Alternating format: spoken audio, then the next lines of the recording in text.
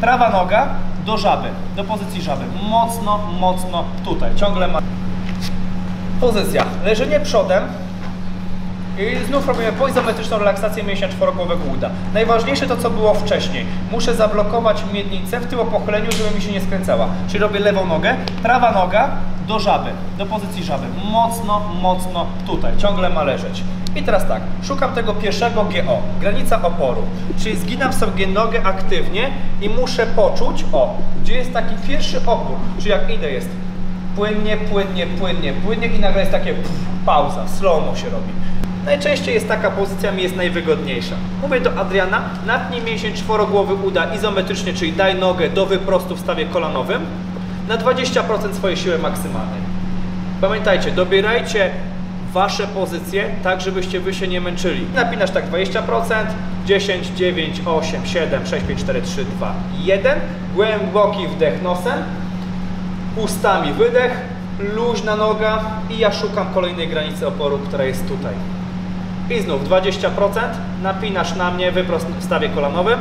10, 9, 8, 7, 6, 5, 4, 3, 2, 1. Wdech nosem, usta, wydech i na wydechu zobaczcie jak noga mi bez problemu idzie. Znów 20%.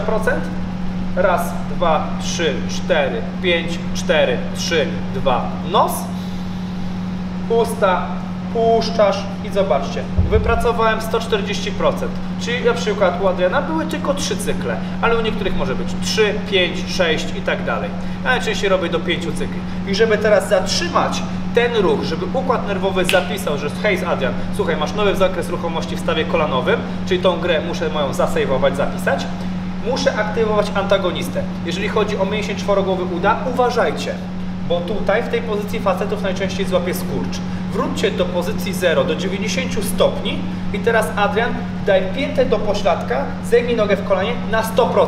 Raz, dwa, trzy sekundy, tak jak macie, puść nogę i powoli pogłębiam ruch. Zobaczcie, jak daleko poszło od razu.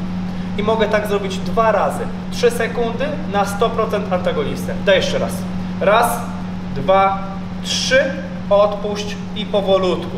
Bo najczęściej naj- ten jakiś taki błąd jest, zauważyłem często też u terapeutów, że oni puf, na hama nogę zginają. Wtedy zbliżają brzuszce i skurcz diametralnie łapie. Jeżeli Wy nie wiecie i później po tym ruchu mogę jeszcze tutaj na przykład utrzymać nogę w minucie na rozciągnięciu, jeżeli chodzi o stretching statyczny, biernie odkładam kończynę. Jest cała filozofia. Jeżeli Wy nie wiecie, że Wasz klient daje 100% napięcia na antagonistę, daj mi 100%, antagonistę, na przykład, nie wiem, ktoś może się obijać, ma gorszy dzień, nie chce mu się, to ja mówię, daj 100% napięcia, ale wy wejdźcie w ekscentrykę, czyli rozciągnijcie delikatnie ten mięsień, to macie 140% i dopiero wtedy zobaczcie, hop, bez problemu poszło. Odkładam biernie, stań sobie, przejdź zobacz, która kończyna jest luźniejsza, gdzie masz większy zakres ruchomości, większa kontrola, noga powinna być taka watowata.